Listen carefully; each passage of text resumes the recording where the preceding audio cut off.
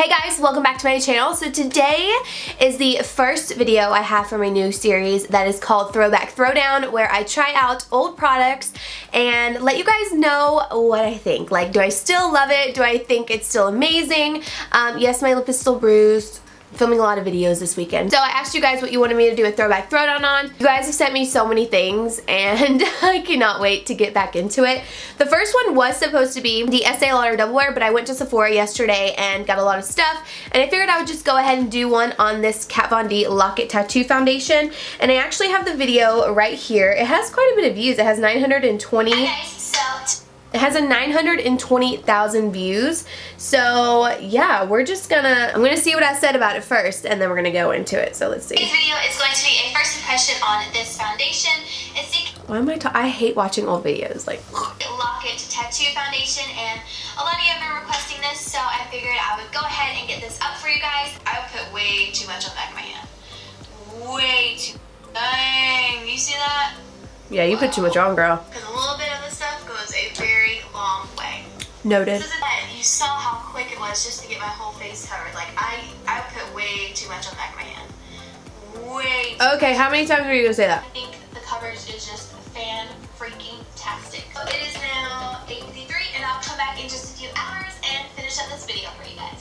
Hi guys. So, you look the exact same. First off, I want to say I do like the foundation a lot. Throughout the day, which I love. To run through all the claims it has, for the full coverage part, it is very full coverage. 24 hour wear. I wouldn't be surprised if it was 24 hour wear because I've worked for a while and it hasn't broken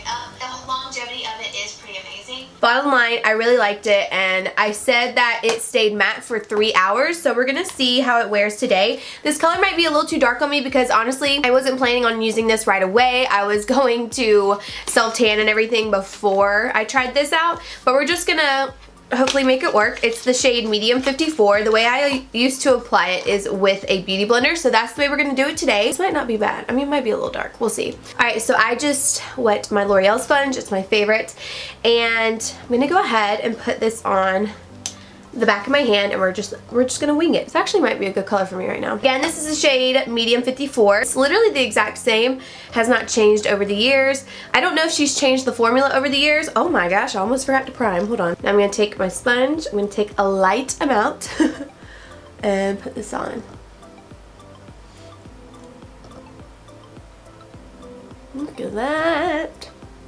Looking good. Color is not bad. It's actually a little light. It's surprising.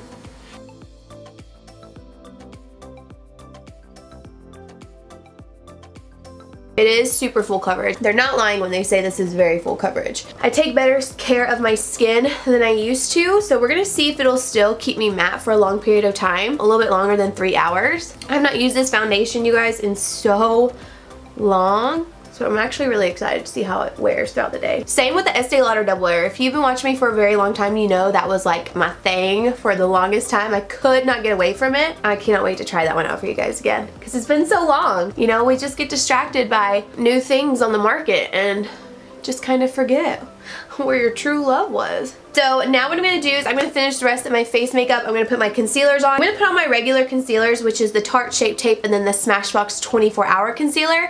And then I'm going to come back after I have my full face done, show you guys the time. We're going to do some updates throughout the day and then I'm going to give you my final review at the end. But so far, I'm really liking it. I think it does look really good right now and I'm pretty excited about it. Stay tuned. I will be back in just a moment when I have my full face done and we will start checking in throughout the day. So. Okay guys, so I have the rest of my face makeup on. I'm feeling very glam and full coverage. I really like it so far. I am matte girl. I am matte. Um, I think I have like a breakout coming through right here. I don't know.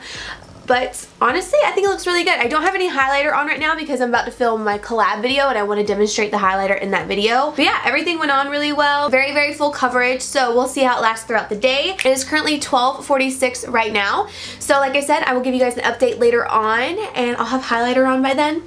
So my full glam will be complete when I have my highlighter on. So I will see you guys in just a few hours. Hey guys, so for once I'm doing an update at the grocery store. Looking, I think, okay. I mean, obviously you can see some texture I'm having right now. I don't think it looks terrible. I do think it looks a little, like, dull on my skin. I've been filming all day today. It's about 6 o'clock now, or it's 6.02 exactly. I don't know how long that's been since I've had this on, but I'm thinking for a while now. I wore my sunglasses a little bit before this, and I don't have any sunglass marks, which is really nice.